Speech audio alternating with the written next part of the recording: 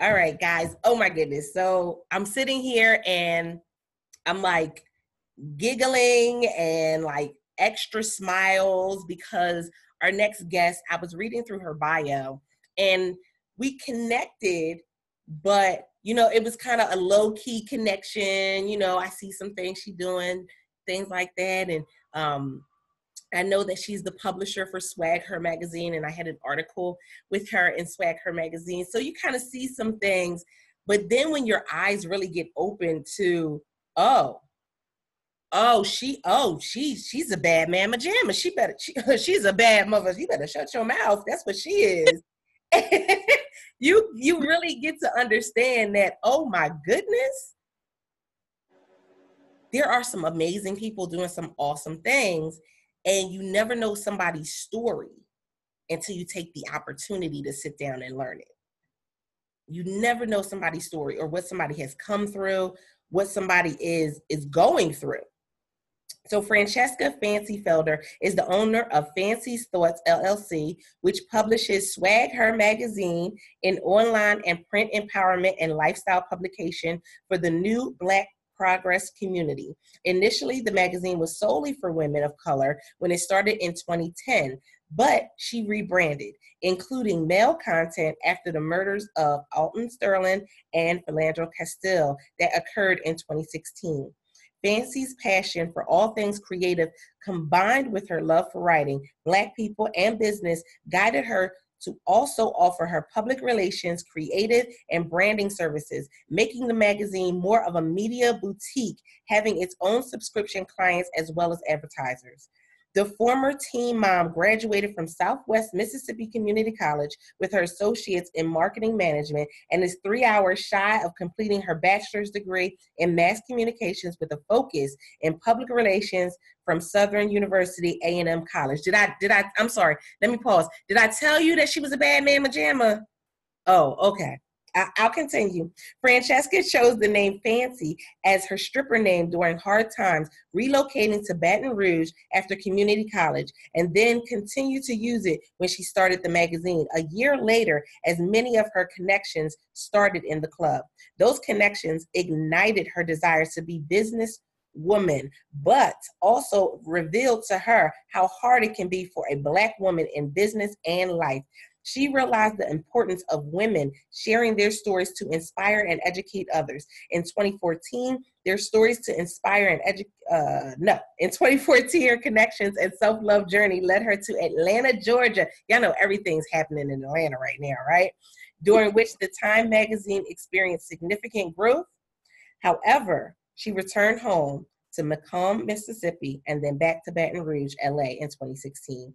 Somewhat of an introvert, Fancy is known for her charming but genuine character. After many personal disappointments and failures, she understood that we are only given one life. And it is what you make it. The self professed goddess realizes she has lived an eventful life and openly shares about her experiences on various such subjects, such as business, entrepreneurship, blogging, branding, inspiration, self love, homelessness, teen mom, domestic violence, Black unity and growth, and mental health, anxiety, depression, mindset, lifestyle, strip club addiction.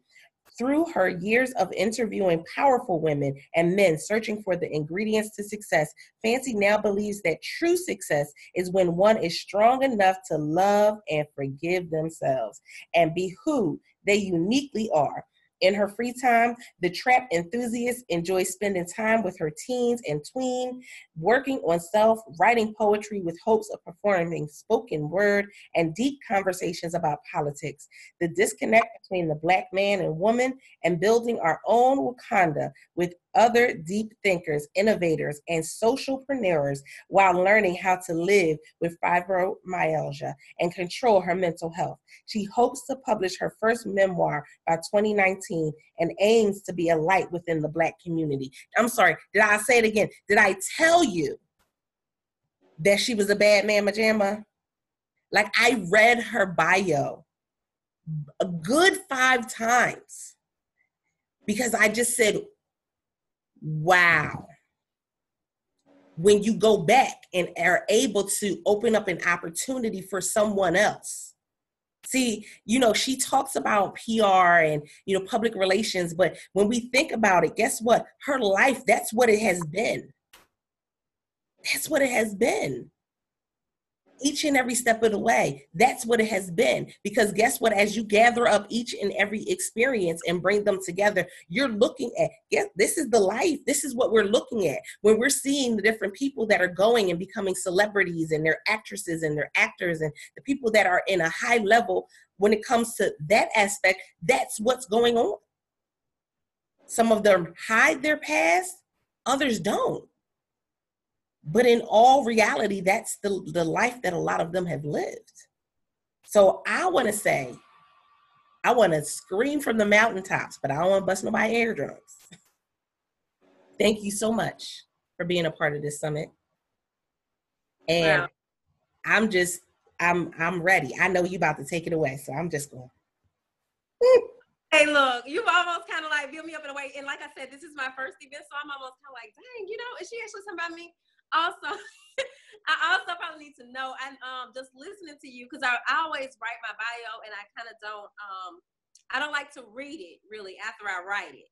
So then I was like, okay, for one, I noticed some errors I need to fix, but I also realized I also need to update. But overall, I mean, it's still all true. And so I just I just want to know those things. But um and then I didn't even realize that I talked about like when you mentioned the, the strip club addiction, I, I, was like, oh my god, I didn't put that in there, didn't I? But I, but at the same time, I, I, think it is something that we need to be discussing because I think it's something that a lot of people don't know about.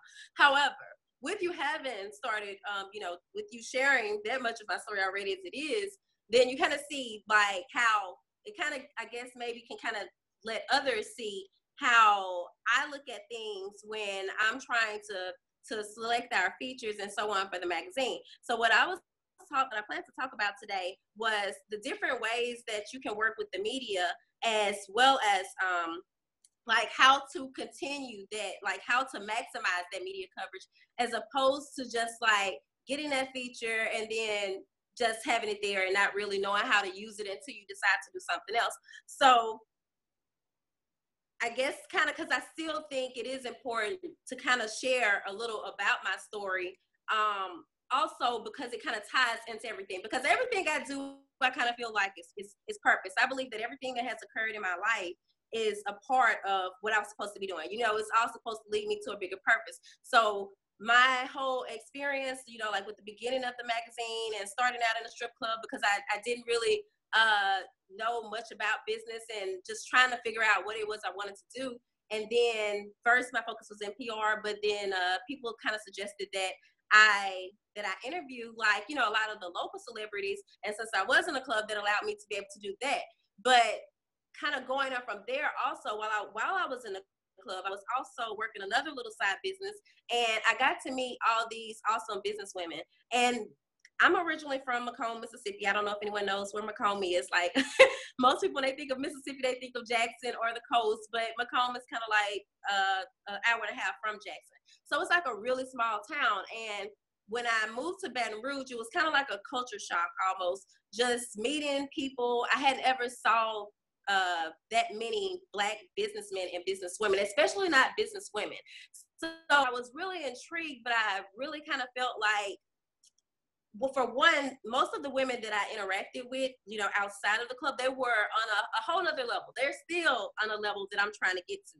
But what I really had to learn was that, you know, those where they were, that didn't come easily for them. They still had their own trials and tribulations. And so oftentimes times I would get like really upset with myself or I get like depressed. And then they share these stories with me and they just, you know, like really share. You know, like I don't like things to be sugar coated. Like tell me what it is so that I can really kind of be prepared. Also, it also um, helps, I think, when we tell it like it is so that other people can know that they're not alone with things. Because oftentimes I think when we do the sugar coated stories that people think, you know, um, it's supposed to like that that that that breakthrough is supposed to be easy. And it really took me a lot of years. I mean, even after I started the magazine in 2010, it still took me a lot of years to grasp the concept of that because I kept thinking that everything would come quick. And then uh, here I am now, nine years later, and I'm just like, you know what? Like before, I would just work uh, non stopping around the clock, thinking that, oh, I can make this happen overnight. And then now I'm just at this point where as I look back on things and I'm like, hey, I've missed so much of my kids' lives. I've missed so much of my own life, you know, just trying to make certain that I was, that I, you know, I just thought that if I kept working nonstop, that that was going to change things dramatically. And I've had to realize that that's just not the case. So whenever I'm looking at a story or I'm trying to, you know, select the person for the magazine, I like to like really look at them in full. Um, oftentimes, you know, people might pitch us or they might have a publicist to pitch us. And of course, if there's a publicist pitching us, then I'm a little bit more intrigued because that means that person has also invested a little more into themselves or they're of a different, um, I don't want to say social status because that's not always the case. Sometimes it might be somebody cousin, their auntie, whoever the case, you know, whomever that's actually pitching us as their so-called publicist. I do get that. I mean, after nine years, you start you start to catch on to the little tricks of things. But I think that oftentimes people think, you know, that their that their story isn't enough for media or, you know, that it's not worth telling. And my whole thing is some of my some of the people that I've featured in the past that I enjoyed the most were those people that just really like share it like it is, that talk about, you know, pulling themselves out of the trenches and just moving forward with their lives. And then also I noticed that a lot of times um, people don't necessarily know how to tell their story in a manner that actually comes to a conclusion. Like, okay, you did this, this, and this. You know, your dog died. You did so and so, so and so. You did da da da. But did you win? And I think that people oftentimes forget that there's two things that people love drama. I mean, of course, they love more than this, but they love drama and they love wins. And the magazine is a positive magazine. Now, we have, of course, in this political climate, we have become more informative and more educational, but I try to make certain that we still keep it on an inspirational level. Like I want people to be able to take something from your story and be able to apply it to them to themselves, you know, to be able to figure out how they can get ahead in life or or bring some type of sense of healing or you know, just just something that actually that they can use. I don't want them to just be, you know, just reading. So I try to keep like a lot of the gossip and things like that um out of the magazine. However, so right, our stories can inspire others. so I said that um, I came up with it's a, actually a list of seven ways that that you can um, work with the media. And then two of those ways are actually like they kind of have like a part a and a part b. So of course i've kind of been discussing the the aspect of the publicist pitching you or you pitching yourself. But if you're going to pitch yourself then make certain that you have some type of angle with it because angles are important in pr so again like don't just tell me your whole life story because people often do this when I'm out. Like they'll start telling me their whole life story, but I'm still waiting to see why exactly they told me. I love to learn about people, but I don't necessarily know. And especially having been in this business this long, sometimes I'm like, okay, are they telling me this because they want me to interview them? Or are they just telling me this because they have stuff going on? You know, so I'm trying to figure out what it is that they're trying to do exactly. And sometimes, I mean, and again, I guess that's just kind of me because I always go into business mode, as you can kind of see. Again, like if I had known that we could give our inspirational stories, I would have come with another piece. But so that's what um that's what my first uh, nugget was to pitch yourself or use your publicist, and then also, of course, there that you can there sorry you can buy media placement. And i know that from a publicist standpoint people oftentimes don't like to buy media placement. Like a lot of publicists see it as a bad thing but i don't see a problem with that because a lot of the times like your brand just may not be as well known. You know you may not be within the the circles or the status that you need to be in just yet. So that media placement that you purchase is actually good for you because it's going to be good for you know the whole thing for me in media is to be able to see how either and of course I like for it to be beneficial. But when I'm looking at someone, if I'm gonna do like a free feature, then I'm gonna be looking at their network and trying to see who I can, you know, like what is their target market? Like how can I pull from their following or their tribe and then make that beneficial for me? Then if you're gonna buy the media placement, of course, you'd also want to do the same thing with me. You know, you don't want to buy media placement and it's not you know, like you have some other type of business that doesn't exactly align with our readers, then what would be the whole purpose of that? But also, I just kind of went way from my notes, but um, also with the media placement both times you want to check out who it is that you're planning to work with as well as they're going to check you out as well. But the media placement can be whether it be advertisement or whether it be um, like an actual interview those type of things so that's two ways and then of course i think that more people are catching on now because it is like growing to be more of a trend i know that i that we we've been receiving more requests. But guest blogging is a third way that you can also work with the media. And I think this is a really cool way. I don't think a lot of people um, are using it as much as they could be. But if you're trying to brand yourself as a speaker or a leader or a specialist or whatever the case may be within your field or industry, why not guest blog? You know, why not reach out to media that aligns with the art, the audience that you're trying to to you know accomplish or gather or already have then reach out to a media outlet that goes along with that and then you're able to be able you know you can kind of um and not kind of it actually does really help with raising your awareness there like making certain that people know who you are because someone might see you or you know they're interested in your blog and then they may start following you or they may want to purchase a coaching coaching package or whatever the case may be. So guest blogging is a third way that you can also work with the media. And i also think that this is, is another good way too because you can also use this with your portfolio. And with all of these ways, though, I suggest using them, you know, adding them to your portfolio, making certain that you're putting these projects and partnerships on your website, make certain you have them on your Linktree. If you have media kits or press kits, make certain that you're adding a link to that or a visual or whatever the case may be. Because the whole thing is for me or and also for others, when you're working with the media, you're trying to build up your credibility. So it's good to have that to say, hey, I did, you know, A, B, and C. So why not me for D or whatever the case may be? So guest blogging is the third option.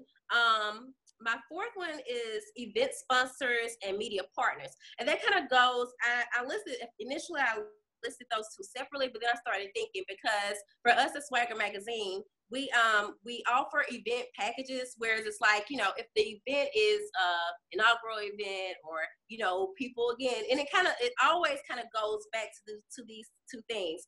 Is it going to be beneficial to us to pull from your network or should we be you know charging basically? And i guess i i do sometimes feel a little a little some kind of way about charging because sometimes i hear really good stories but at the same time because I am a business and I do have to pay people and I do have to pay, you know, uh, bills and other expenses. I have kids. I have to make certain that we are able to still function. But the good thing about that is like either you can um, work with the media with them being say like a press sponsor or a media sponsor or you can partner with them whereas you can possibly you all take it as a joint venture or maybe you're just using their name you know like going under their name so uh, I actually listed, I saw that come in. I'm sorry. I listed that as a media partner itself. So event sponsors and media partners are a fourth option. And, and then another option that we're actually trying to get more into is content creation because I love to watch things and not necessarily know it's an ad, but or you know, or read something and not necessarily know it's know that it's an ad. And that kind of goes back to guest blogging in some ways as well. But I think for what I've uh, wanted to do more with content creation is to be able to like uh, include product placement or we do some type of skit uh, or a sketch or something along the lines of that and then we're implementing your brand into that some type of way of course a lot of times you also might see things like on instagram when someone's drinking a tea and then they got the you know they talk about how tight they were, da, da, da. Then you see the ad right there. But that is still what I would consider to be content creation. It's also a sponsored post as well. But you all created that together. Obviously, you all had to come together to produce whatever that may be. So, um, also some other ideas I have for content creation is I noticed that infographics are doing really well right now, and I even found like an article that was a few years old, but uh, infographics have actually been popping seems like a lot longer than what I know of. but I think that infographics are a great way to create content creation again especially if you're branding yourself as a specialist or a you know a, um, or an expert within a certain field, and you can take that knowledge and work with the media to be able to help them to create something along the lines of that.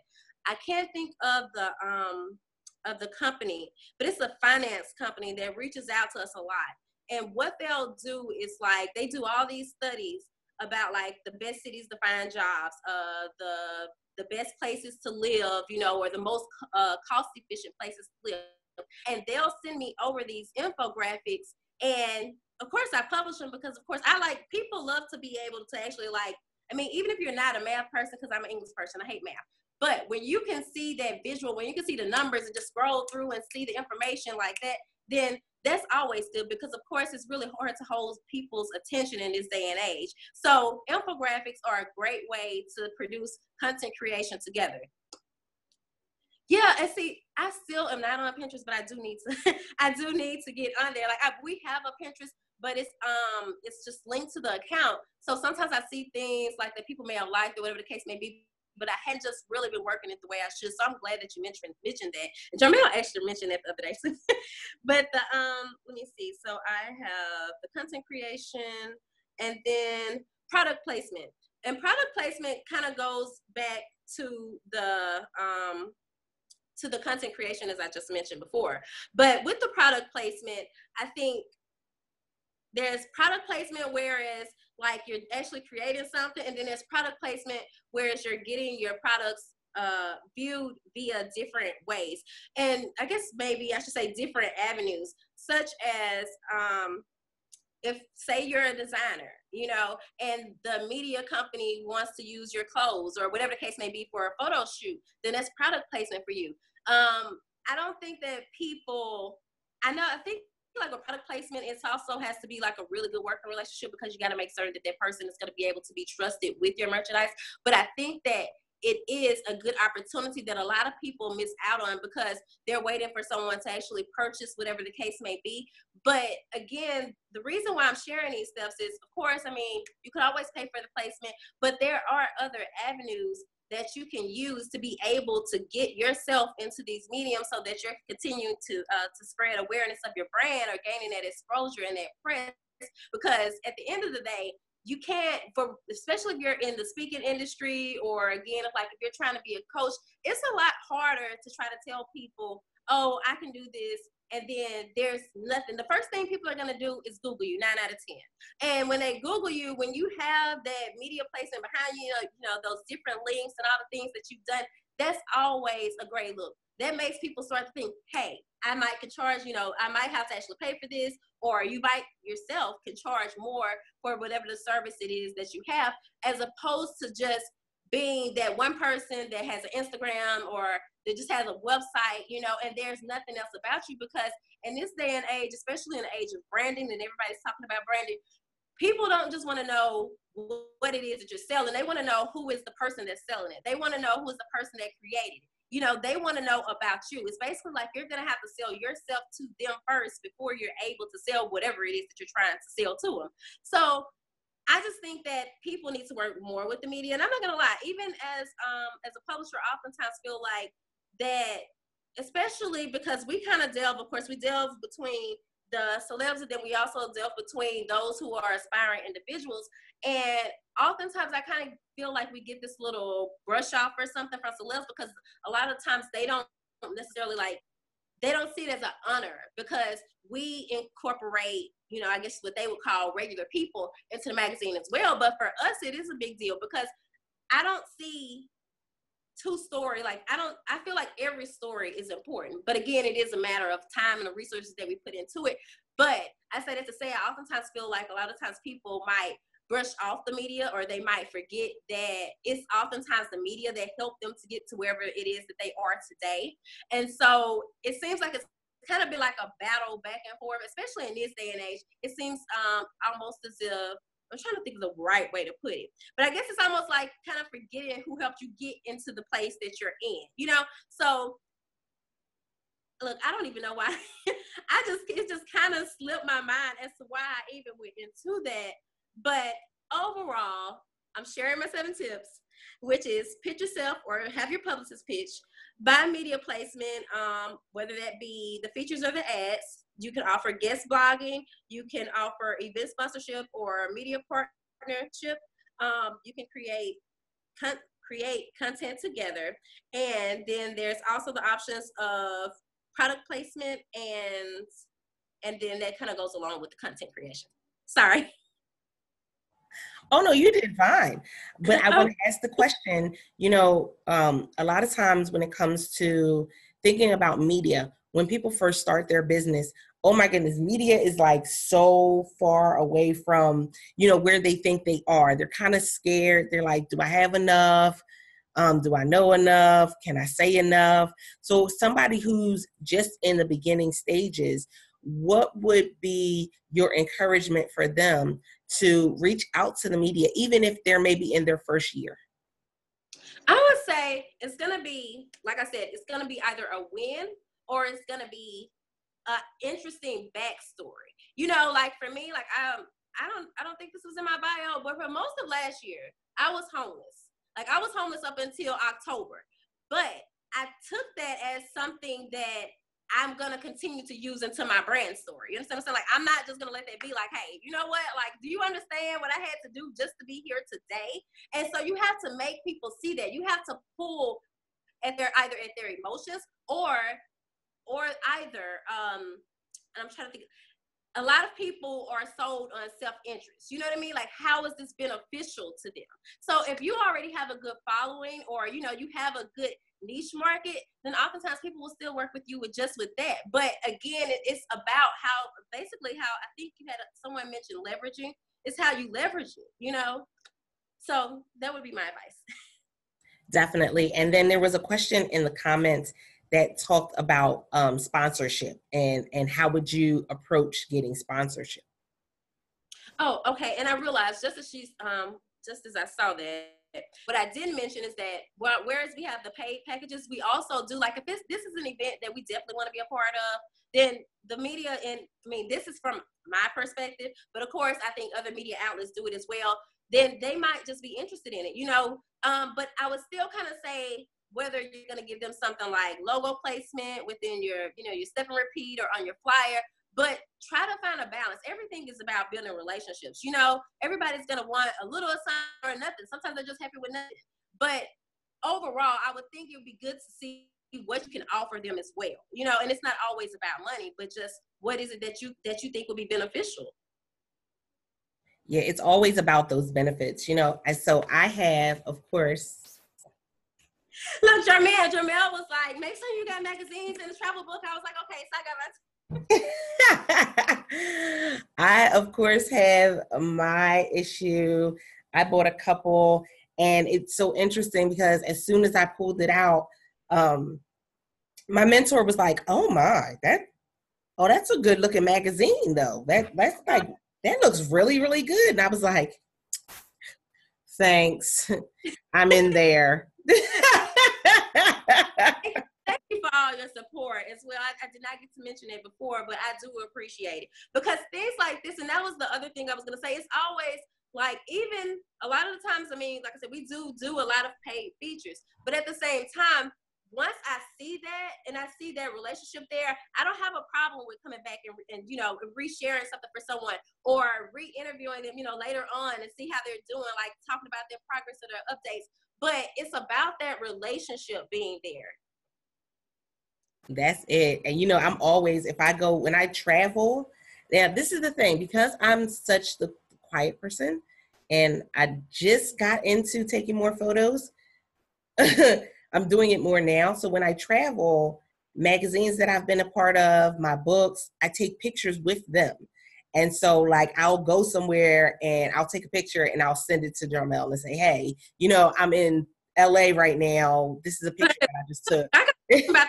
But I know he, he does send me some of it. We actually have like a little file now that we're keeping, so they might be in there and I just have some.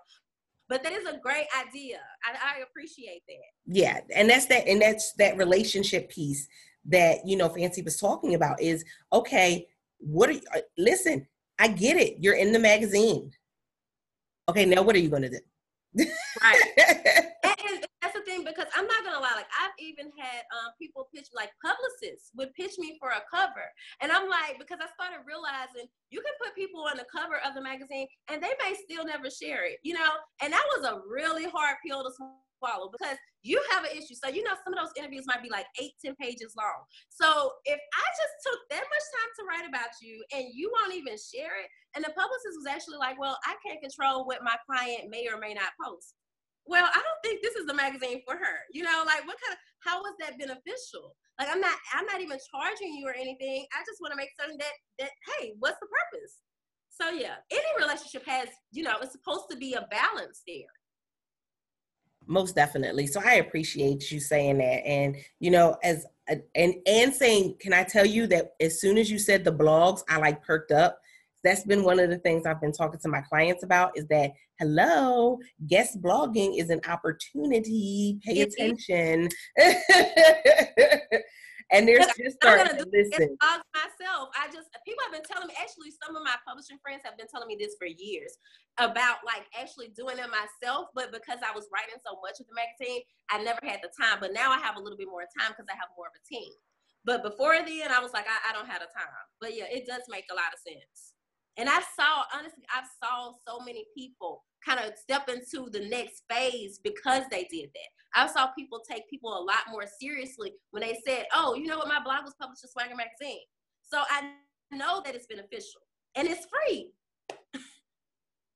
so why wouldn't you? That part. So I appreciate you coming on and guys, yeah, they said it in the comments. This was great information.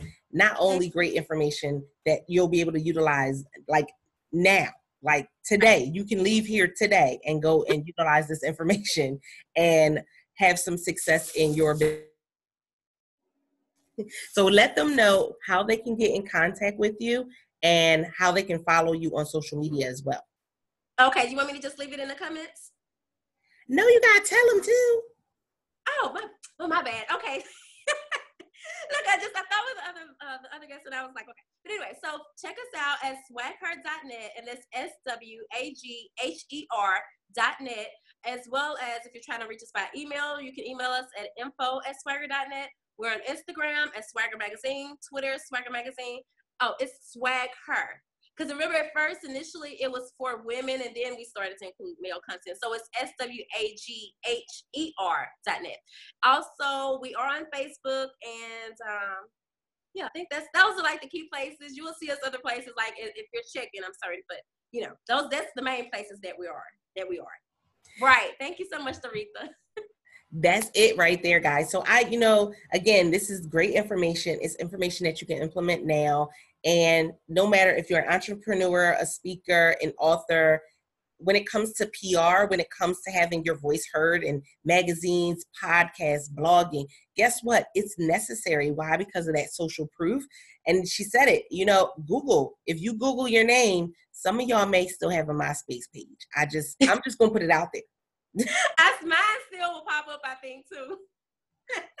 like some of y'all still got MySpace page. So you got to understand that the more you do, the more comes up, and that whole SEO, you know, right. whatever you've done most recent is going to pop up first. So definitely make sure that you're putting yourself out there. And I appreciate you so much, sis. Guys, listen, we are about to go into another segment. Why? Because listen, we ain't done yet. We just not done. but until next time, don't forget to press it out.